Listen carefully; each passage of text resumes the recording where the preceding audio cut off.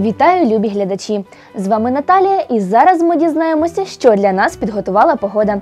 За даними Черкаського гідрометцентру, сьогодні погодні умови на Черкащині формує атмосферний фронт із заходу. За прогнозом, очікується хмарний день, налипання мокрого снігу, хуртовини на дорогах ожеледиться. Температурні показники повітря вночі коливатимуться від мінус 10 до мінус 8 градусів морозу, а вдень піднімуться до 2-3 градусів тепла.